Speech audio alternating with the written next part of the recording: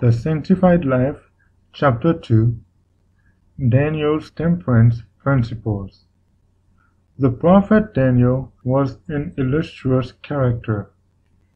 He was a bright example of what men may become when united with the God of wisdom.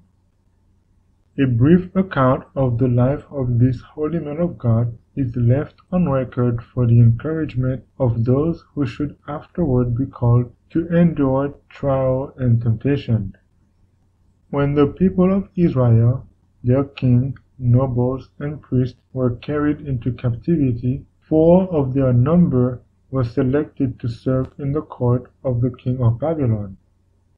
One of these was Daniel, who early gave promise of the remarkable ability developed in later years.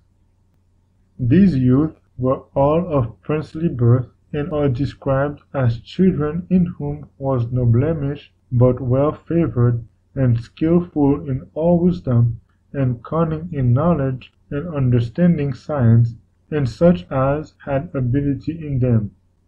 Daniel 1 verse 4. Perceiving the superior talents of these youthful captives, King Nebuchadnezzar determined to prepare them to fill important positions in his kingdom. That they might be fully qualified for their life at court, according to Oriental custom, they were to be taught the language of the Chaldees, and to be subjected for three years to a thorough course of physical and intellectual discipline. The youth in this school of training were not only to be admitted to the royal palace, but it was provided that they should eat of the meat and drink of the wine which came from the king's table. In all this the king considered that he was not only bestowing great honor upon them, but securing for them the best physical and mental development that could be attained. The Sanctified Life, Chapter 2 Daniel's Temperance Principles